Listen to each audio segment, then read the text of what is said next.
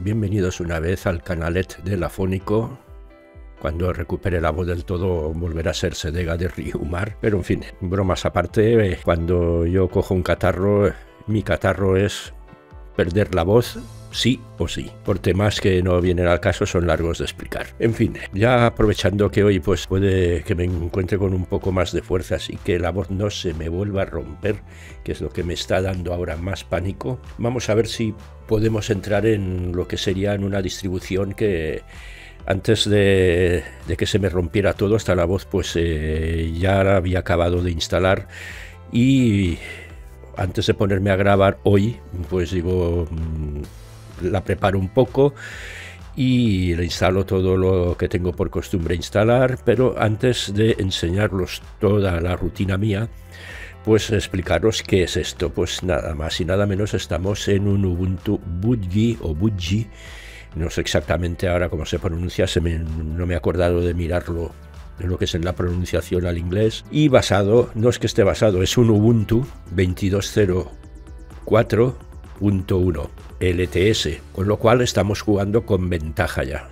Sí, estamos jugando con ventaja porque es que esto ya lo tenemos ya más que exprimido y ya sabemos por dónde coger un Ubuntu 22.04. No me quiero adelantar. Aquí ya veis que ya tengo instalado el low latency, ya digo, he ido adelantando trabajo. Tenemos por aquí pues eh, lleva así, llevamos ya una hora 42 minutos de uptime y aquí como podéis ver, pues tenemos toda esta paquetería. ¿Por qué? Porque la Flatpak la he añadido yo como es lógico.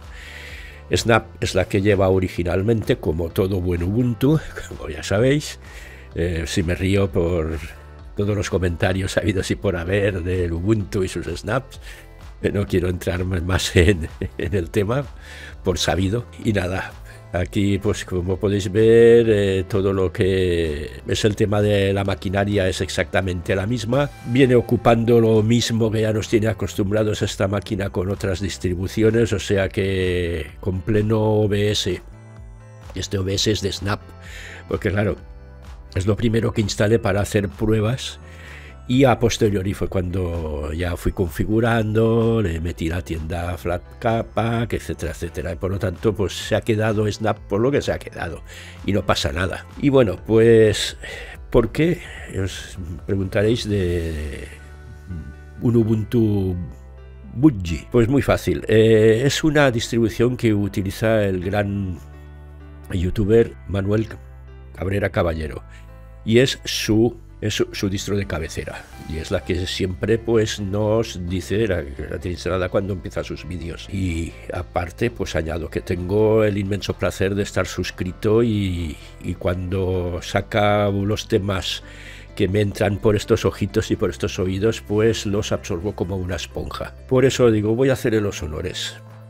Sí eh, nos repetimos eh, es una 2204, no deja de ser un 2204, que jugamos con ventaja, como decía antes, porque ya sabemos por dónde coge a un Ubuntu 2204. Aquí como podéis ver, pues la parte de lo que sería la parte de sonido, pues recuerda bastante a la, a la de Genome.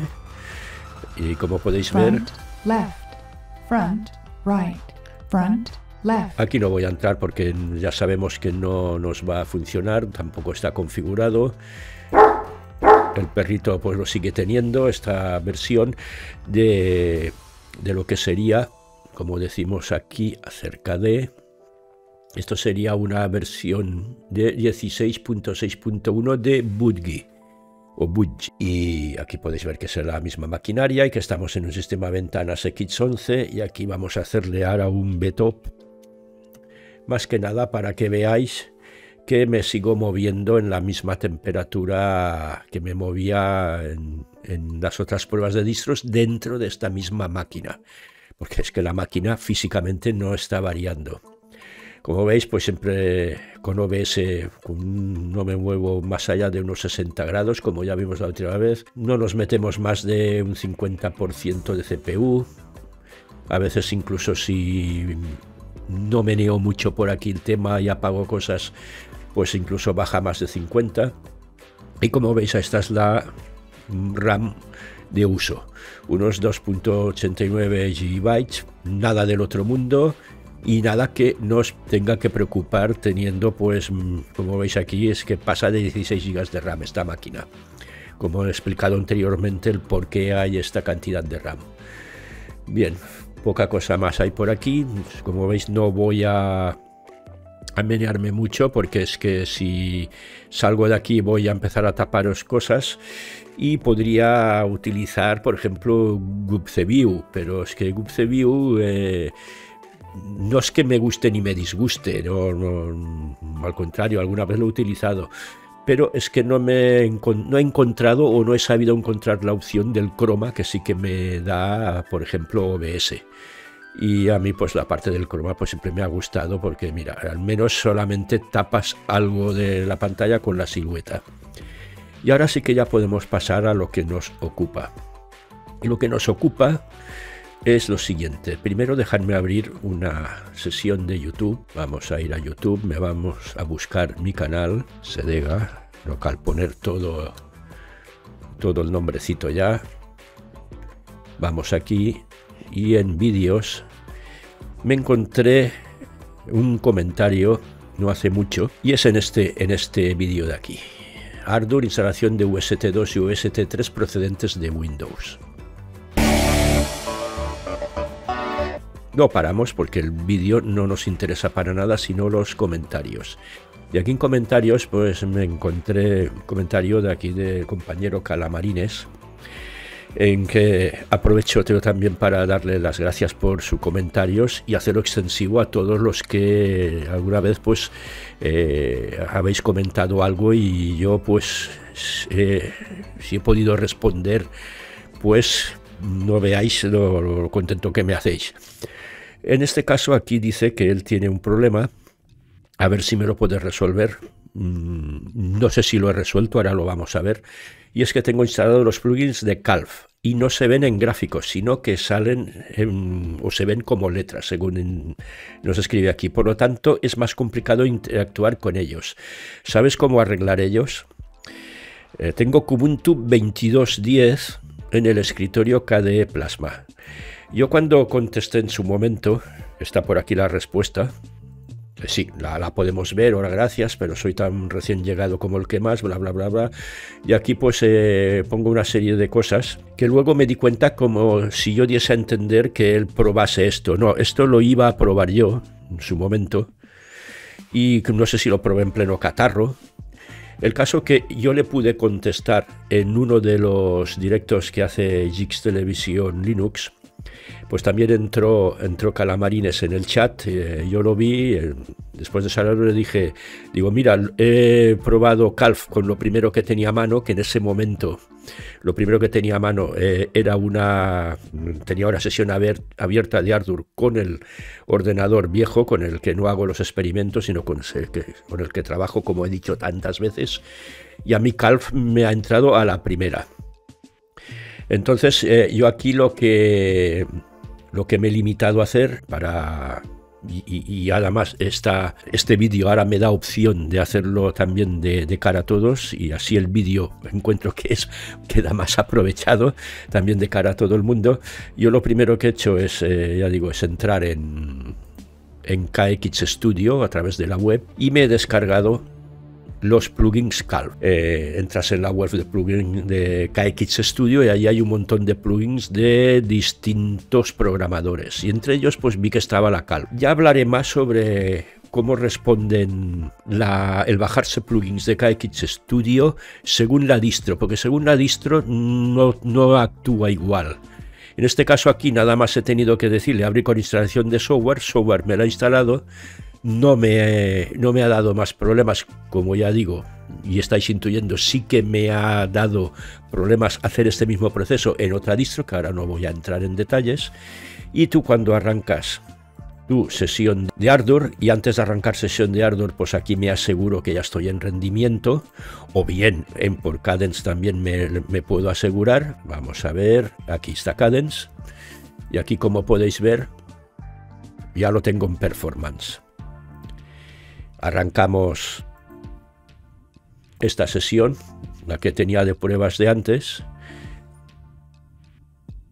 Y aquí ya tenemos arrancado, pues por ejemplo, un, un instrumento de Calf, porque aparte de plugins también entran instrumentos.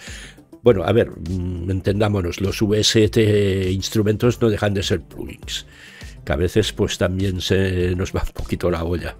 Y aquí pues como veis tenemos un magnífico GUI, una magnífica carátula, pero vamos, a mí me aparece todo y también me aparecieron la otra vez como así se lo comuniqué a, la Marines en su momento. Y dicho de paso, pues funciona perfectamente.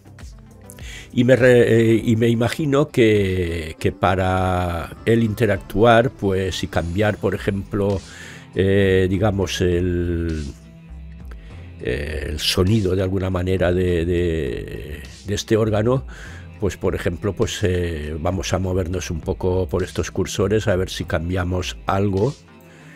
O, bien por aquí de, supongo debes poder cambiar el tipo de onda, no lo sé. No me lo he mirado a fondo. Eh, lo estáis viendo igual que yo. En fin, podemos aquí parece que sea una frecuencia de bajos. Sí parece que se oye un poquito más bajo. Esto sería el volumen de toda de todo el plugin. Evidentemente demasiado. Aquí la transposición en fin eh, estoy entrando ya en otros terrenos que no vienen al caso y dentro de, los plugins que se han descargado que Ardor normalmente te los detecta por aquí, administración de plugins, y aquí los tenéis. E incluso pues si es un instrumento te lo dice, ¿veis? Como es el caso del órgano que tenemos aquí ahora mismo instalado. Este es un instrument plugin y lo que no pues es un limiter plugin o un compresor plugin o un plugin espacial, eh, yo qué sé. Eh, los plugins que os, que os dé la gana. Entonces los dos o tres que he marcado como favoritos, dos ya los he puesto aquí y aquí tendríamos por ejemplo, un ecualizador. Y vamos a ver si funciona. De momento, pues eh, ya digo, sin entrar a fondo, veo que por aquí sí que ya hemos tenido una interactuación en el input level y en el output level. Eh, ya entraré con más detalles a fondo a ver en modo gráfico cómo hay que hacerlo. Por aquí ves, ver una gráfica para poder interactuar con las frecuencias y esto es muy interesante, dado, y ahora vais a ver por qué es muy interesante. Primero vamos a cerrar esta sesión de Ardour, guardar y salir, que se quede bien guardada, da lo mismo. Y volvemos al famoso Patch by Carla. Y en este Patch by podemos añadir los plugins y aquí tenemos este ecualizador de 12 bandas que acabamos de probar en Ardour. Aquí lo tenemos por aquí, precioso en la parte del rack, pero si nos vamos al patch by lo tenemos que tener aquí. Y entonces, pues si quisiéramos monitorizar algo, pues en este caso, eh, yo qué sé, eh, no sería ahora el momento de hacerlo, sí que voy a arrancar el GUI y como veis es lo mismo y aquí yo ahora poniendo los hilos tanto in como out, supongo que por aquí sí que eh, podríamos actuar con lo que serían las gráficas con las distintas frecuencias. Se ve, ya digo, un modo muy profesional, a mi pobre parecer, como es lógico. Habrá otros, otros plugins con, con una carátula, con un guía a lo mejor muchísimo más cuidado que este, no lo sé, pero para mí este está cuidadísimo. Y en fin, como veis, el, campo sigue abriéndose aún más y más y más y más. Conclusión, como habéis visto, el plugin modo GUI, nada de letras, me ha funcionado perfectamente. ¿Pero por qué? Por lo que os he indicado al principio.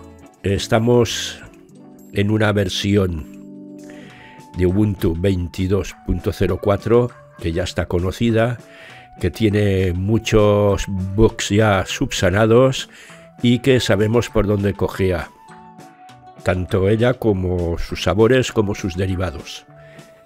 Y creo que por aquí lo podemos dejar. Concluyendo, los plugins Calf aquí han funcionado perfectamente y me imagino que de otros eh, programadores pues funcionarán igualmente de bien. Ya os emplazo ya para un próximo vídeo, para ya pues eh, algún otro tema que se nos pueda suscitar. Y como siempre, pues yo aquí lo dejo y os espero al próximo vídeo. Hasta pronto.